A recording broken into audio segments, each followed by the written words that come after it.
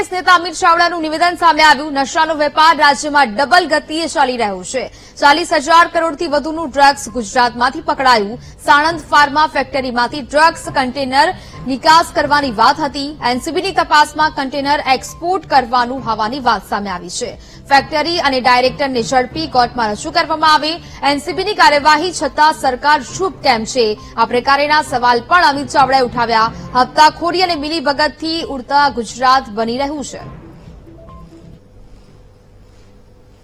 ગુજરાતમાં ત્રણ દાયકાથી શાસન કરતી આ ભારતીય જનતા પાર્ટીની સરકારની હપ્તાખોરીની નીતિને કારણે મિલીભગતને કારણે આજે ગુજરાત ઉડતા ગુજરાત બનવા તરફ આગળ વધી રહ્યું છે.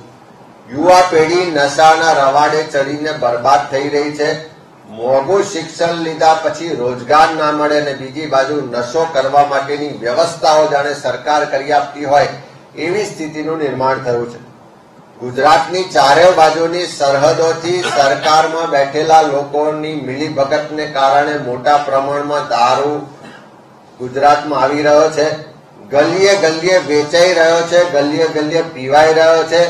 અત્યાર સુધી દારૂની જ બધી હતી. હવે ફાર્માસ્યુટિકલ કંપનીઓની આડમાં સિરપ હોય કે બીજા રીતે અનેક રીતે નશાકારક દ્રવ્યો ખુલ્લેઆમ વેચાઈ રહ્યા છે, દુકાને દુકાને વેચાઈ રહ્યા છે. ડ્રગ્સ ખુલ્લેઆમ વેચાઈ રહ્યું છે યુવા પેઢી બરબાદ થઈ રહી છે.